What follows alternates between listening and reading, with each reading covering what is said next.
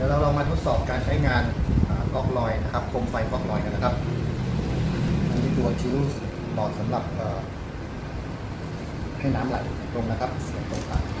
ก๊อกแบบนี้นะครับ แล้วตรงข้างในก็จะมีรูตรงกลางสีดำๆนะครับตัวนี้ก็เสียบกดลงไปตรงๆนะครับ ให้มันแน่นนะครับแน่นเสร็จโอเคเราจะเติมน้ำไปก่อนนะครับเติมน้ำลงไปก่อนผมเติมน้ำไป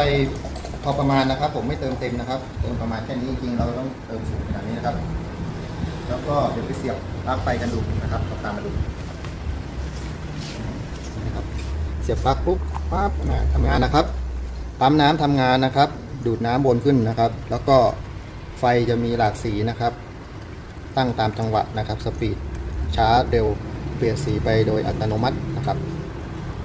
ถือว่าการทำงานใช้ได้ดีนะครับ กติทุกอย่างเดี๋ยวถอดปลั๊กออกโอเคจากนั้นคือ หลังจากที่ผมทดสอบแล้วนะครับ ผมจะถอดออกมาอาจจะมีหยดน้ำติดตามอุปกรณ์บ้างนะครับ อันนั้นก็ถือว่าเป็นการที่เราได้ตรวจสอบนะครับ อาจจะไม่สามารถเอาน้ำออกไปหมดได้นะครับ ครับหลังจากเรียบร้อยผมก็เทน้ำออกนะครับเทน้ำออกเราก็สามารถดึงหลอดออกแบบนี้นะครับ แล้วก็เช็ดปกตินะครับอาจจะไม่แห้งมากเท่าไหร่นะครับเพรามีหยดน้ำขังอยู่บ้างนะครับ โอเค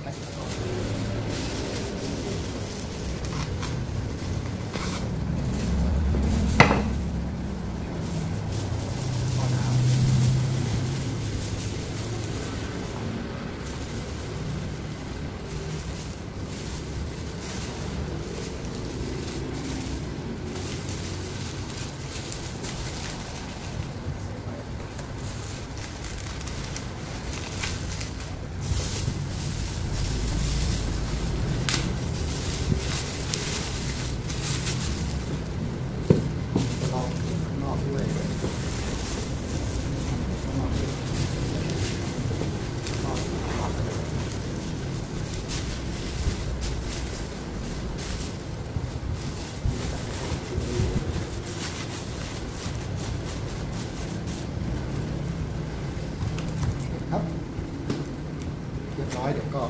จะแพ็คให้เลยครับ